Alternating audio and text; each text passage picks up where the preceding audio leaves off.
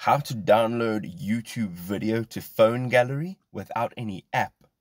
Good day folks and welcome to the channel. If you are looking to download a YouTube video and not have an internet connection to watch it, then this is the video for you. So what you want to do is go ahead and choose the video that you would like to download.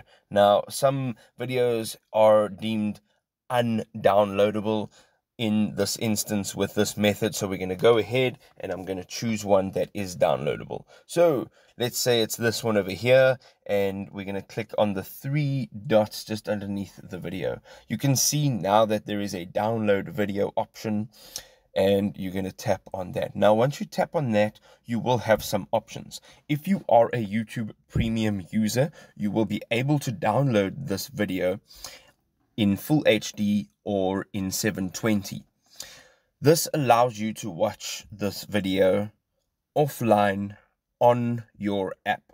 So this will not be downloaded to the actual device. It will actually be inside the YouTube app. So if you're not a YouTube premium user, you can go ahead and tap on either medium or low and then you can just tap on download.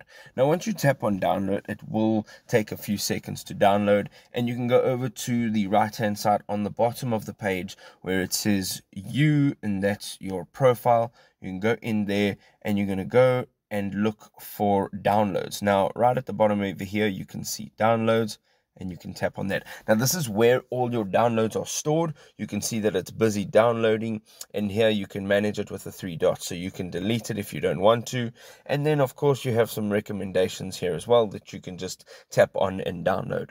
So there it is. The video is now available to be downloaded. You can just tap on it and you will be watching it offline. So if you don't have an internet connection, you will still have it available. I hope you enjoyed this video. If you did, don't forget to drop us a like and we will see you in another awesome video. Cheers for now.